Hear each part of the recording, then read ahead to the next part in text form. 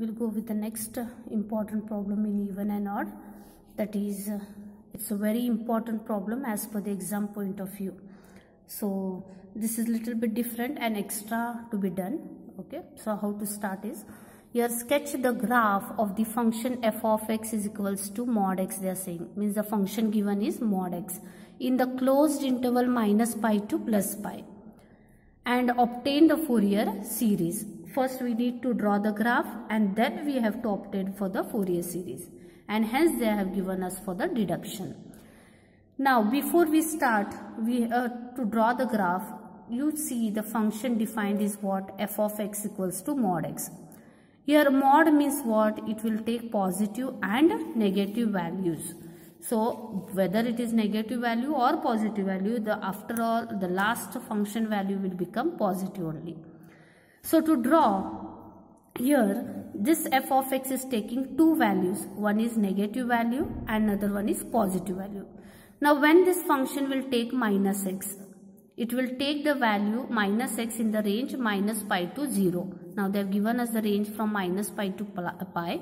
Here so minus x value will become minus pi to 0 and it will take the positive value of x in the range 0 to pi. With the help of this we are going to draw for the graph. As per your back knowledge we know that y is equals to what? f of x right? y is equals to f of x and we know that we have been defined f of x in two ranges that is minus x in the range minus pi to 0 and x in the range 0 to pi. So, from the conclusion, here I will get y is equals to f of x means y is equals to what? Minus x in the range how much? Minus pi to 0. And y is equals to plus x in the range 0 to pi. So, we know that y is equals to x. We know that y is equals to x is the equation of the straight line passing through the origin subtending an angle of 45 degrees with the x-axis. Everybody knows this, right? It is subtending angle of 45 degrees with the x-axis. Similarly, y is equals to minus x is also equation of the straight line passing through the origin subtending an angle of 145 degrees here, 135 degrees which is taken as y is equals to minus x. So this way the graph is been sketched. So this is what the graph I have drawn. Okay, the interval is from minus pi to plus pi. So uh, in this manner we'll sketch for the graph. Next, now we have to go with the Fourier series. So again the given function is defined in a closed interval minus pi to plus pi. This is closed means it will be square bracket. Okay. And is of period 2 pi. Now I need to check for even and odd. Now here directly you can take f of x equals to mod x and just replace x by minus x directly because we know that mod value will give us positive only. So instead as previous problem I had defined for phi of x and psi of x, I will go for such concept to check for even and odd. Now here I have divided the function into two intervals. Here I will take this as phi of x and this I will take it as psi of x. So when I take phi of x equals to minus x and psi of x equals to x, here the range is from negative to positive, so replace x by minus x.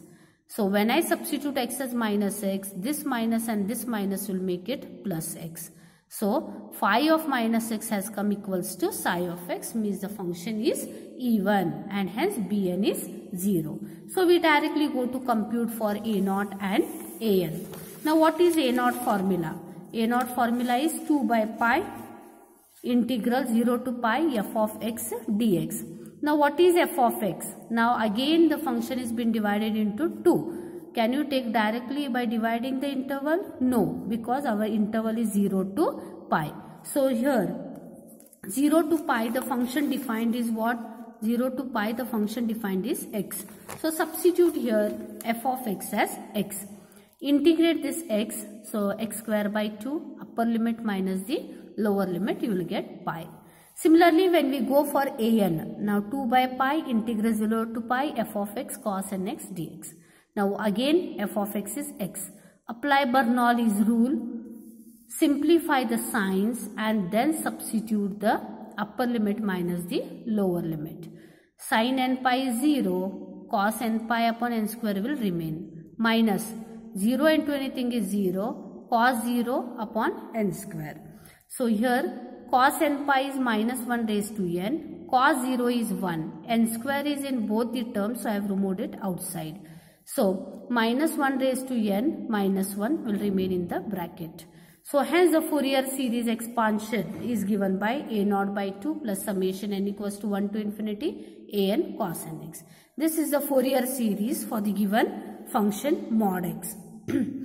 now we need to deduce. The deduction is here given is 1 by 1 square plus 1 upon 3 square plus 1 upon 5 square is equals to so on pi square by 8. Now to deduce this, I, here I have got the series in terms of cos. So I am going to substitute x as 0. We are going to start with x equals to 0. And we know that the function is continuous at x equals to 0. On what basis I am saying it is continuous? See 0 lies in between minus pi to plus pi. Means x takes the value 0. So it is termed as continuous function. So to compute now I told you when it is continuous directly substitute x value as 0 in f of x. Now which function you are going to take f of x as minus x or plus x. We always consider the positive function. So f of 0 will become 0. So this is 0. A naught is pi by uh, pi and divided by 2 plus summation n equals to 1 to infinity 2 upon pi n square into minus 1 raised to n minus 1 into cos 0. Cos 0 is 1. So simplifying by shifting this pi by 2 this side, 2 by pi is acting as a constant in this summation. So bring it out. So this is 2 by pi. This 2 will come down. This pi will go above. So pi square by 4. This only remains this side. And we know that minus 1 raised to n minus 1 value is minus 2 if n is odd and it is 0 if n is even. So I am substituting this value as minus 2 by restricting this summation as 1, 3, 5 so on because it is uh, having odd for odd numbers only the function where this bracket value is becoming minus 2. So I am restricting this summation.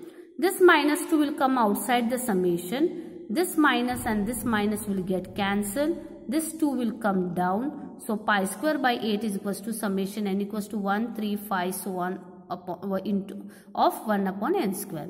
Split out the summation by substituting 1, 3, 5. We will deduce our required. So this is a very important problem as per the exam point of view. Thank you.